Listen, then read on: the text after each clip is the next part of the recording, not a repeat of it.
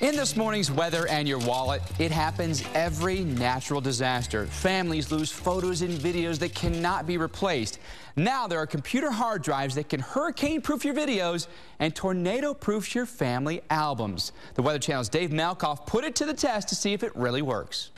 We all live in this digital world. Think about this. In the next few years, with all the photos we take, with all the video we shoot, with all the documents we scan, every American household has more digital files than the Library of Congress has paper. With the simulated house fire burning out back, we visited IOSafe, a disaster-proof computer company in Northern California. There's lots of things insurance will get back for you, but they can't replace your memories. Robb Moore founded the company. Oh, here, I'll, I'll even go like this. So that's what we shot earlier. This is on the data card. Because today's family photo albums are more digital than paper. Starting to copy the data across. We're copying our video to a box called the N2. So it's kind of like an aircraft black box. okay, so let's shut it down. We're just going to put it right on top of these pallets just to simulate a house fire. So we threw it into the flames. This doesn't even have your logo on it anymore. No, the paint's starting to go away. And let it burn. How long can that stay in there like that? Uh, it's rated to stay in there for up to 30 minutes. Natural disasters. Such as fires and floods and hurricanes, tornadoes. And electronics usually don't get along that well.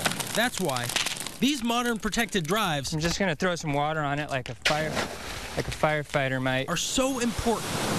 We took our burn box to a nearby river to test Robb's claim. Three days underwater, 10 feet, even in salt water. The first birthday party or the birth of their child, you know, these are the things that it's impossible to replace once you lose them. Back at the lab. Oh my God, what is that?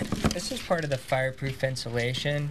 It looks like the inside of an Oreo cookie. Now, of course, this kind of drive is expensive, but sending your photos to a friend's house who lives far away or to a website like Flickr, that's a cheaper option.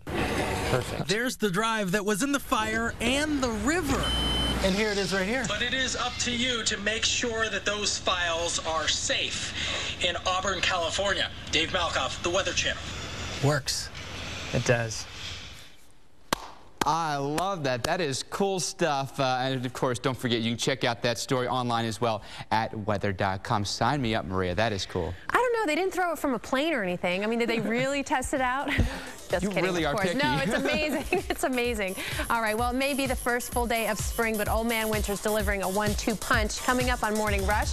Keep the shovels handy, folks. Our expert tracks who will be digging out for more than eight inches of snowfall after two snowmakers make it through.